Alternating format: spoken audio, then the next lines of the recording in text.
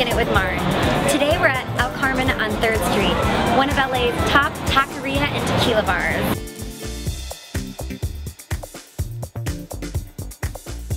Hi, I'm Maren Swanson and I'm with mixologo, Gilbert Marquez, and we're here at El Carmen in Los Angeles. So, we're gonna start off with the traditional Cantarito clay mug, why not? Real quick, cantalito. Cantarito. Cantarito.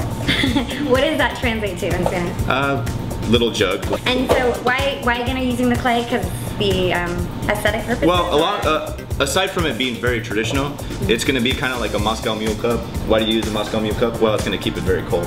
What I love right now is all these bright, vibrant colors that you have set up with the ingredients. Yeah. So it, it, like you said, it's almost like it's a summer cocktail, right? It's gonna be great for this type of weather because it is warming up right now. Very summer, very fruity. So the cocktail is gonna have a Valentina shrub. Uh, it's basically gonna be a fruit syrup and vinegar, basically. But at El Carmen, we're gonna use something a little bit different. We're gonna use hot sauce since it's high in vinegar. So we're gonna start off with the Valentina shrub, three quarters of an ounce, watermelon juice, Watermelon juice. and we're gonna do one and a half ounces of that. And just a bar spoon of the mango puree. And lime juice, half ounce. And the most important ingredient, mezcal. So we're gonna use a little bit of Ilegal Joven. Hoban means young, so that's Joven means, yeah, young, young age. young age. Or okay. unaged, I'm sorry. I'm gonna add a little bit of ice. Just a little bit, and then we're gonna use a technique called swizzle. Basically, you're gonna give the cocktail um, aeration and energy without shaking it. Cool. And I'm gonna use this uh, really cool uh, Mexican swizzle type thing. Uh, in this case, I'm gonna add a little bit of energy to the drink by rubbing, rubbing my hands together and kind of swizzling it.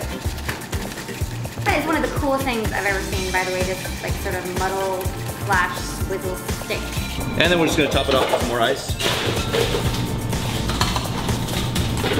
And with any drink, uh, especially a Mexican drink, we're gonna wanna add chili. Mexicans like to garnish, or pretty much season everything with lime, chili, salt. So we're gonna use a little chili powder. And gonna garnish with an orange. Now we're just gonna put a couple of little, basically, slices.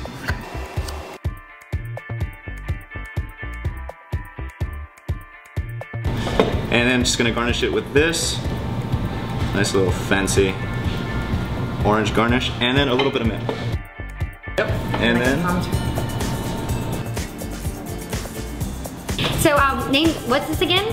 uh, this is the Valentina Swizzle.